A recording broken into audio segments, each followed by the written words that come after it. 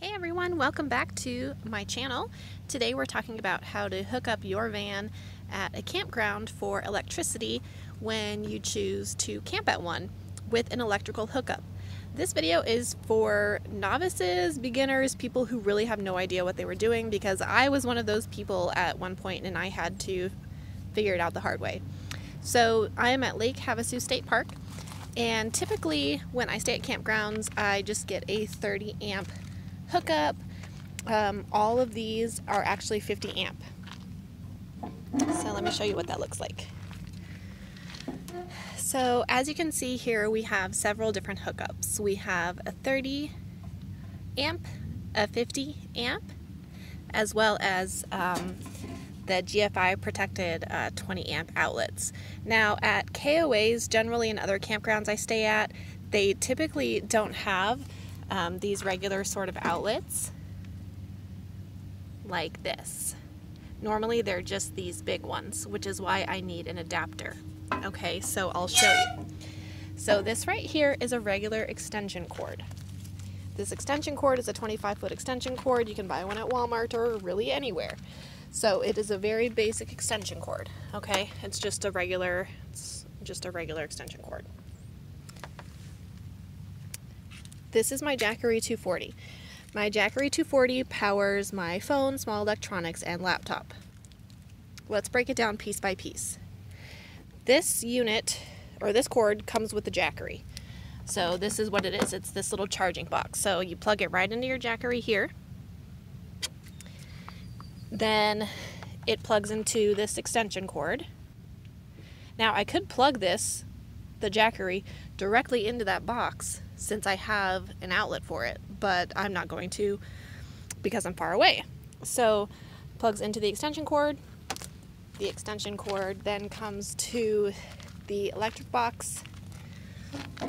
Now I could have plugged it in right there, but I have an adapter for 30 amp spots. So this adapter, which is the yellow thing, plugs from the extension cord into the box.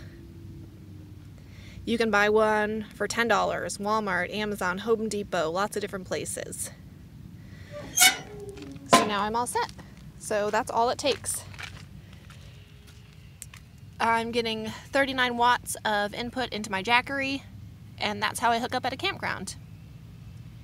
Conversely, I have really good sun today, so I'm actually going to set up my Jackery trifold solar panel because it typically gives me about 50 or 55 watts of input, so it'll charge my Jackery a little faster using the sun, which is surprising, but it is true. And my solar panel plugs right into my Jackery. I'll do a separate video on the solar portion. But this is how you hook up at a campground. Jackery into the electric box or Jackery into the extension cord and you have to use the adapter um, because a regular extension cord won't plug in unless you have that normal wall outlet. So I hope that helps with van life electricity at a campground. And this doesn't require a 50 amp spot. Um, these massive RVs that are parked around me, they use, you know, they'll need the, the 50 but I just have mine plugged into the 30 because that's all I need. And generally, when you go to other campgrounds like a KOA or something where you have options on hookups, I get a 30 20 amp spot because I don't need anything more than that. So, adapter, extension cord, Jackery.